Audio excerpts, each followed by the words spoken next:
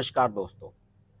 अतीक अहमद और उसका परिवार अब पूरी तरीके से उनका साम्राज्य खत्म हो चुका है। अतीक अहमद अब इस दुनिया में नहीं है। उसका भाई अशरफ भी इस दुनिया में नहीं है। और पूर्वांचल के, पूर्वी उत्तर प्रदेश के एक और बाहुबली परिवार, मुख्तार अंसारी और उसके भाई अफजल अंसारी के खिलाफ भी फैसला आया है।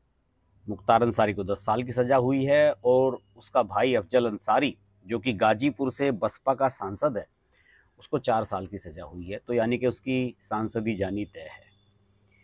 इन चीज़ों के पीछे एक कहानी, एक थ्योरी है दोस्तों।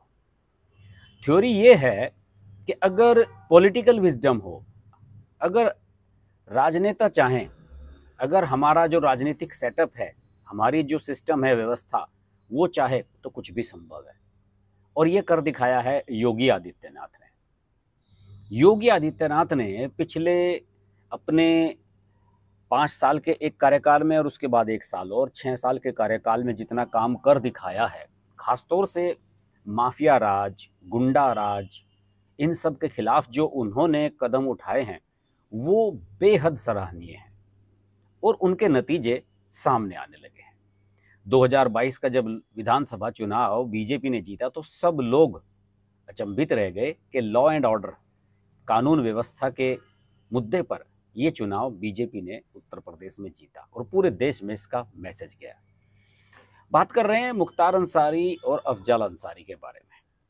देखिए, हकीकत बात है, अगर एक लाइन में इसको मैं डिफाइन करना चाहूँ तो मैं ये कह सकता हूँ कि अगर 2017 में उत्तर प्रदेश में बीजेपी की सरकार ना आई होती और योगी आदित्यनाथ चीफ मिनिस्टर ना बने होते तो मेरे ख्याल से कुछ भी बिगड़ने वाला नहीं था। अतीक अहमद का, अफजाल अंसारी का और मुख्तार अंसारी का। देखिए, गाजीपुर का जो मोहम्मदाबाद है, वहाँ के बीजेपी विधायक हुआ करते थे कभी कृष्णानंद राय। आप सब लोग जानते ही होंगे। जो लोग नहीं जानते, उन्हें मैं बता दूँ कि कृष्णानंद राय की 29 नवंबर 2005 को दोपहर पौने तीन बजे हत्या कर दी गई थी उनके छह साथियों के साथ। सात लोगों को ऑटोमेटिक गन से भून डाला गया था। और इस मामले में आज तक इंसाफ नहीं हुआ है। बहुत से लोग सोच रहे हैं कि कृष्णानंद राय की जो हत्याकांड था, उसमें सजा हो गई है मुख्तार अंसारी को। उसमें सजा नहीं हुई है साहब। वो तो मामला वहीं अटका हुआ है। 2019 में इसकी सीबीआई जाँच आई थी, फाइनल रिपोर्ट आई थी सीबीआई की, इस मामले की। और उस मामले में दोनों भाइयों को बरी कर दिया गया था। क्यों? क्योंकि ये जाँच योगी काल से पहले हुई थी। सीबीआई जाँच उसी समय शुरू हो गई थी, जिस समय ये सारा का सारा मामला हुआ था जब कृष्णानंद राय की हत्या हुई थी। 2019 में सीबीआई की जाँच में दोनों भाई बरी हो गए, लेकिन योगी की सरकार ने जारी रखा कि ठीक है, इस मामले में न सही, दूसरे मामलों में तो इनको नापा ही जा सकता है। गाजीपुर के मोहम्मदाबाद और करंडा थानों में 2007 में गैंगस्टर के मामले दर्ज हुए थे मुख्तार और अफजाल अंसारी पर। और इनमें कृष्णानंद राय की हत्या और काशी के विहिप नेता नंद किशोर रुंगटा के अपहरण को आधार बनाकर ये मामले दर्ज किए गए थे। बाद में मायावती और अखिलेश यादव की 10 साल तक सरकार रही। 2007 में ही ये मामले दर्ज हुए थे, तभी मायावती की सरकार आ गई। पाँच साल तक उनकी सरकार रही, फिर दस साल पाँच साल तक अखिलेश यादव की सरकार रही। तो इन मामलों में कोई प्रोग्रेस नहीं हुई। लेकिन 2017 में योगी की सरकार बनी, जाँच भी तेज़ी से हुई और अब इन गैंगस्टर मामलों में ही सजा सुनाई गई है, जिसमें मुख्तार अंसारी को 10 साल की और अफजाल अंसारी को चार साल की सजा हुई है। देखिए, मैं थोड़ा सा इनकी राजनीतिक बैकग्राउंड के बारे में आपको बता दूँ। वैसे तो अलग अलग माध्यमों से आपको पता लगी होंगी चीज़ें, लेकिन जो मैं बताऊँगा और जिस तरीके से बताऊँगा, उस तरीके से समझना बड़ा आसान रहेगा। मुख्तार अंसारी के बारे में बताऊँ, मुख्तार अंसारी छोटा भाई है, अफजाल अंसारी बड़ा भाई है। मुख्तार अंसारी मऊ सदर से लगातार पाँच बार एमएलए रहा है। 2022 में इसके खिलाफ दो तीन छोटे छोटे मामलों में से सजा हो गई थी तो इसे लगा कि इन मामलों में हो सकता है कि योगी आदित्यनाथ मुझे विधायक ना बनने दें। तो 2022 में इसने अपने बेटे अब्बास अंसारी को एस बी एस पी जो सुहेल देव पार्टी है, इनकी ओम प्रकाश राजभर वाली, उससे टिकट दिलवा दिया। अखिलेश यादव तो ये कह रहे थे कि साहब हम माफियाओं को टिकट नहीं देंगे। लेकिन राजभर की पार्टी उनके गठबंधन का हिस्सा थी और इस तरीके से अफजल अंसारी ने अपने बेटे को अखिलेश यादव यानी कि सपा गठबंधन से अपना प्रत्याशी बनवा दिया और टिकट दिलवाकर चुनाव जितवा भी दिया। पूरा इनका इलाका है, इनके अलावा यहाँ कोई जीत नहीं सकता, मुस्लिम आबादी बहुत ज़्यादा है। मुख्तार अंसारी पर आठ हत्या के मुकदमों समेत 61 केसेस, इकसठ केस दर्ज हैं। मुख्तार खुद जेल में है बेटा अब्बास, ये भी कई मामलों में जेल में जा चुका है। ये विधायक बनने के बाद फरार हुआ था और इसे कुछ महीने के बाद ही विधायक बनने के पिछले साल अरेस्ट कर लिया गया था। अब्बास की पत्नी, मुख्तार की बहू निखत, वो भी जेल है। ये अपने पति से जेल में ही मिलने जाती थी और इन्होंने बहुत सारे कारनामों में इसके साथ रही है। और जिस तरह से अतीक की बीवी फरार है और उस पर भी कई मामले हैं, उसी तरह से मुख्तार की बीवी अफसा और इसका एक और बेटा है उमर, ये लोग भी अभी फरार हैं। इन पर भी बहुत सारे मामले चल रहे हैं। मैं आपको बता दूँ कि मुख्तार का जो राजनीतिक कैरियर है वो 1996 में शुरू हुआ था। बसपा के टिकट पर, मायावती की पार्टी के टिकट पर यह पहली बार एमएलए बना था और तब से लगातार ये पाँच बार एमएलए रहा।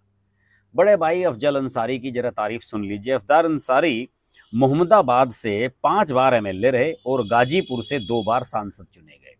अभी भी वो सांसद हैं। अभी तक उनका डिस्क्वालिफिकेशन नहीं आया है इस सजा के मामले में। गाजीपुर से सांसद हैं और गाजीपुर की ही मोहम्मदाबाद सीट है, विधानसभा की सीट।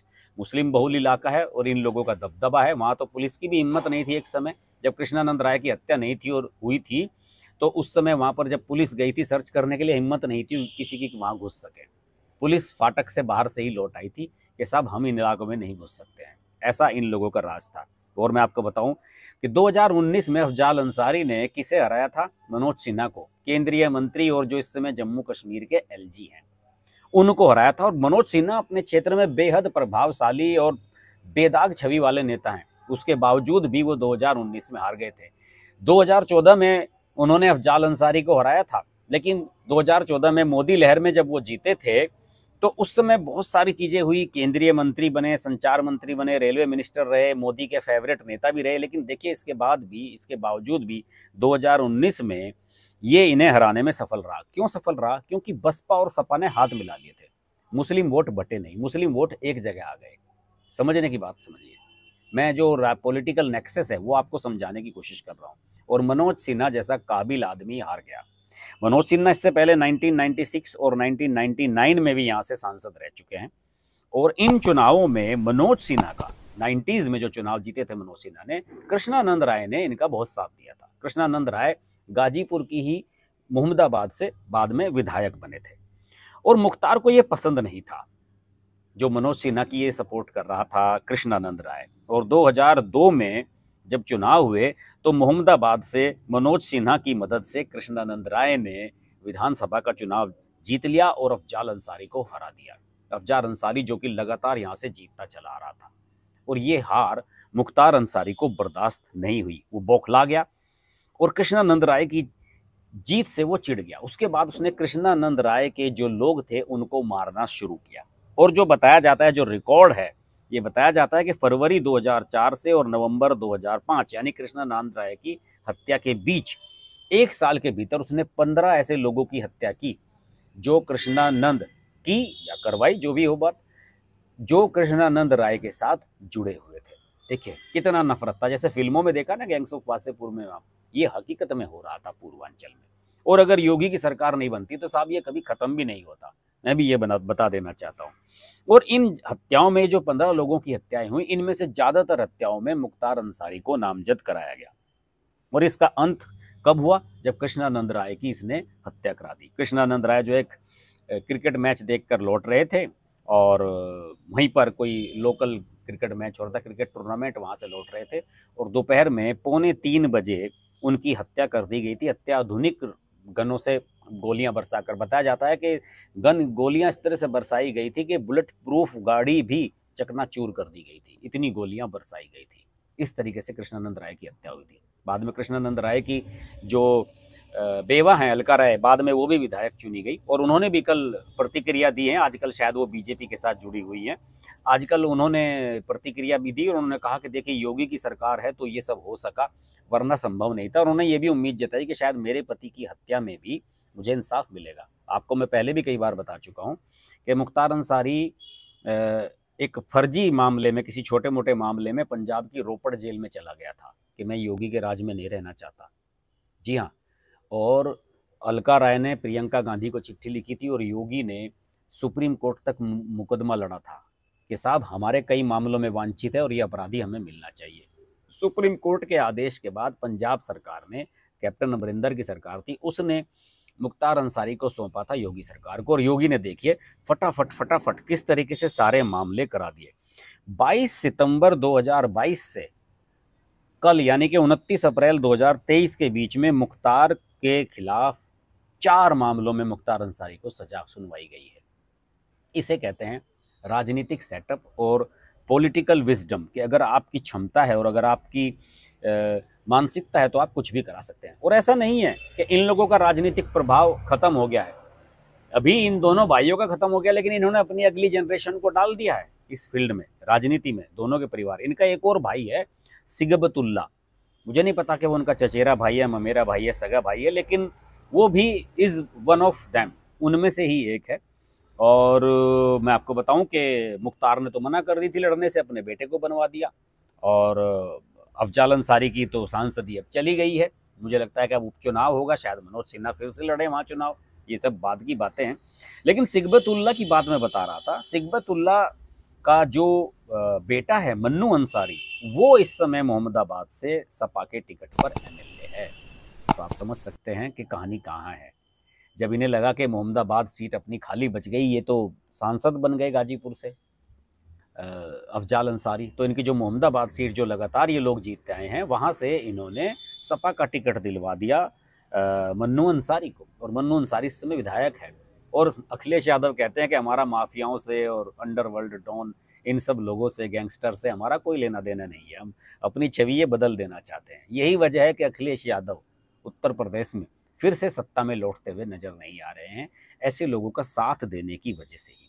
एक और किस्सा मैं आपको ज़रूर यहाँ पर बताना चाहूँगा कि ये जो गैंगस्टर वाला मामला जिसमें सजा हुई है मुख्तार अंसारी और अफजाल अंसारी, को इसमें कृष्णानंद राय वाली हत्याकांड का तो मामला जुड़ा ही था। इसके अलावा काशी के कोयला व्यापारी थे जो विश्व हिंदू परिषद के उस समय कोषाध्यक्ष भी थे वहाँ के, वाराणसी के नंद किशोर रुंगटा।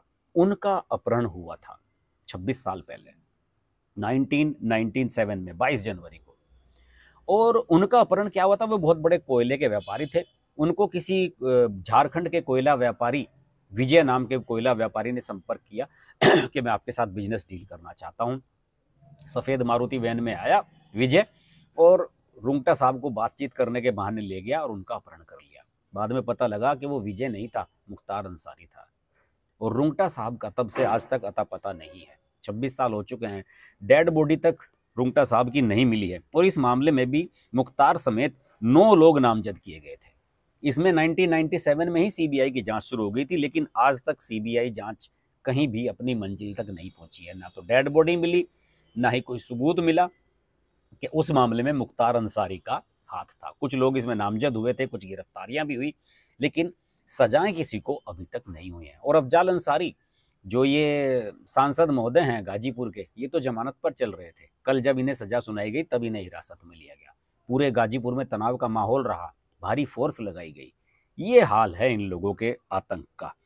और पूर्वे पूर्व, पूरे पूर्वांचल में जिस तरीके से इन लोगों का आतंक था, प्रयागराज से आगे अतीक का शुरू हो जाता था, फिर उसके बाद मऊ और उससे आगे जो है, गाजीपुर से आगे जो है, इन लोगों का दबदबा था अफजाल अंसारी और मुख्तार अंसारी का। गोरखपुर में रहते हुए योगी आदित्यनाथ इन सब चीज़ों को भली भांति समझ रहे थे। और सीएम बनने के बाद उन्होंने सबसे पहले प्रायोरिटी यही रखी कि इन जैसे लोगों को नंबर से ठिकाने लगाना है, किसी भी तरीके से। इन लोगों को सजाए देनी है, इनकी ज़मीनें ख़त्म करानी है, इनकी प्रॉपर्टी हड़पनी है, बुलडोजर चलवाने हैं, इनके जो सपोर्टर्स हैं इवन, उन लोगों को भी ख़त्म करना है। और उसमें योगी आदित्यनाथ को मुझे लगता है कि बहुत बड़ी सफलता मिली है। और अगर राजनीतिक सेटअप चाहे तो किसी भी मामले को निपटा सकता है। आप समय पर जाँच कराइए, पुलिस से कहिए कि तेज़ी से सबूत जुटाए कोर्ट में जब तारीख हो, हर तारीख पर जो चीज़ें मांगी गई हैं डॉक्यूमेंट्स वो वहाँ पर अवेलेबल कराए जाएँ, जिससे कि आगे की तारीख ना मिल सके। तो बहुत कुछ संभव है। अभी देखिए, उमेश पाल की हत्या को कितने दिन हुए थे? जब अतीक ने और उसके साथियों ने हत्या कराई थी, और इतनी जल्दी उम्र कैद की सज़ा भी सुना दी गई। तो समझते रहिए, आप कितने जल्दी ट्रायल हो रहे हैं, कितने मामले चल रहे हैं। और एक बात और बता दूँ, कि ये जो अंसारी का परिवार है, मुख्तार अंसारी, अफजाल अंसारी, ये बहुत बड़ा राजनीतिक परिवार है भाई। ये कभी महात्मा गांधी से जुड़े रहे हैं। 1926 में बताया जाता है कि इनके चचेरे दादाजी हुआ करते थे मुख्तार अंसारी के। उनका भी नाम डॉक्टर मुख्तार अहमद अंसारी था। उन्हीं के नाम पर मुख्तार अंसारी का नाम रखा गया। वो बताते हैं कि बड़े पढ़े लिखे थे, मद्रास से डिग्री थी, डॉक्टरेट की इनके पास और उन्होंने गांधी जी से प्रभावित होकर कांग्रेस ज्वाइन की थी। इसके अलावा जो दो बार उपराष्ट्रपति रहे हैं इस देश के, हामिद अंसारी जिन्हें इस देश से अब सबसे ज़्यादा परेशानियाँ हैं। वो इनके रिश्तेदार ही हैं। मुख्तार अंसारी के। तो आप समझ सकते हैं कि किस तरह का नेटवर्क इन लोगों का राजनीति के साथ रहा है, किस तरीके से ये राजनीति का सहारा बढ़कर, बनकर, बनाकर राजनीति को और उसकी बैसाखियों के माध्यम से आगे बढ़ते रहे और एक के बाद एक अपना दबदबा कायम करते रहे। लेकिन थैंक्स टू योगी आदित्यनाथ जिन्होंने इसको तोड़ा है और इसमें मनोज सिन्हा की बहुत बड़ी भूमिका बताई जाती है, जिनका नेटवर्क बहुत अच्छा है गाजीपुर में और उन्होंने भी इन लोगों के खिलाफ सबूत जुटाने में, गवाह जुटाने में बताया जाता है कि उत्तर प्रदेश सरकार की बहुत मदद की है। हो सकता है कि इसका परिणाम आने वाले समय में मनोज सिन्हा को देखने को मिले, वो फिर से चुनाव जीत जाएँ। लेकिन योगी आदित्यनाथ को फुल क्रेडिट दिया जाना चाहिए कि अगर योगी आदित्यनाथ सीएम न बनते, मेरा तो मानना है कि अगर 2017 में बीजेपी की सरकार बनती और कोई और सीएम बनते, तब भी शायद ऐसा नहीं हो पाता। लेकिन योगी आदित्यनाथ ने वो कर दिखाया है, जो कम से कम उत्तर प्रदेश में कभी नहीं हुआ था। और बिहार को भी जो पड़ोसी राज्य है, उसको भी किसी ऐसे चीफ मिनिस्टर की ही ज़रूरत है। खैर, देखते हैं, इन बाकी मामलों में क्या होता है। आप हमारे साथ जुड़े रहिए। नमस्कार। अगर आपको हमारी वीडियो पसंद आई तो वीडियो को लाइक करें, चैनल को सब्सक्राइब करें और नोटिफिकेशन के लिए बेल आइकन को प्रेस करें।